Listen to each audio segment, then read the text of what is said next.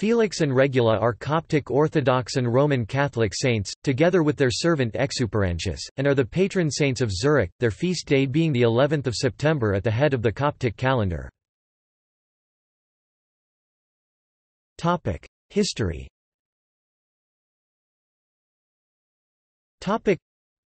Felix and Regula were siblings, and members of the Theban legion under Saint Maurice, stationed in Agaunum in the Valais. When the legion was to be executed in 286, they fled, reaching Zurich via Glarus before they were caught, tried and executed. After decapitation, they miraculously stood to their feet, picked up their own heads, walked forty paces uphill, and prayed before lying down in death. They were buried on the spot where they lay down, on the hilltop which would become the site of the Grossmünster. The story was revealed in a dream to a monk called Florentius. It largely contributed to the massive conversion of the inhabitants of these regions to Christianity and had such an impact on Zurich that these three saints still appear on the coat of arms and seal of Zurich today.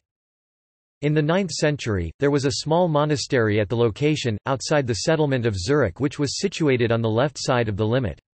The Grossmünster was built on their graves from ca. 1100, while at the site of their execution stands the Wasserkirche.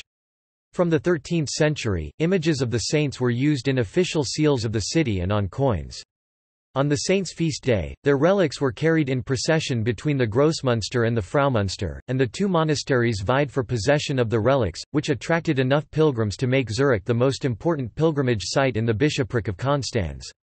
The Knabenschießen of Zurich originates with the feast day of the saints on the 11th of September, which came to be the national holiday of the early modern Republic of Zurich. With the dissolution of the monasteries by Huldrych Zwingli in 1524, their possessions were confiscated and the graves of the martyrs were opened. There are conflicting versions of what happened then. Heinrich Bullinger claims that the graves were empty save for a few bone fragments, which were piously buried in the common graveyard outside the church.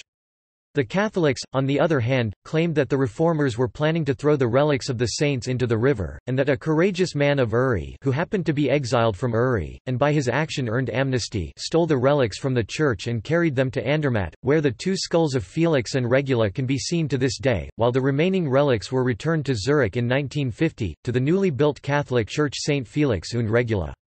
The skulls have been carbon-14 dated, and while one dates to the Middle Ages, the other is in fact composed of fragments of two separate skulls, of which one is medieval, and the other could indeed date to Roman times.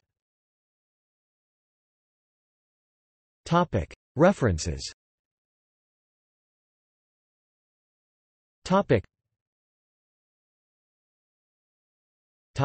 Literature in German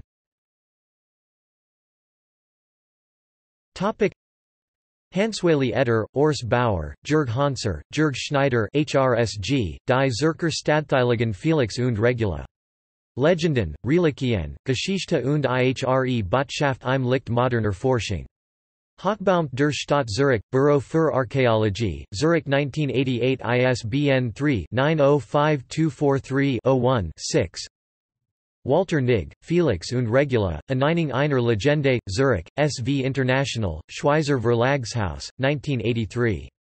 ISBN 3-7263-6361-0 Jürg Hanser, Armin Mathis, Ulrich Ruoff, Jürg Schneider, Das neue Bild des Alten Zurich, Zurich 1983 Cécile Ramer, Felix, Regula und Exuperantius, Iconographie der Stifts und Stadtheiligen Zurichs, Zurich, Antiquarische Gesellschaft, 1973. External links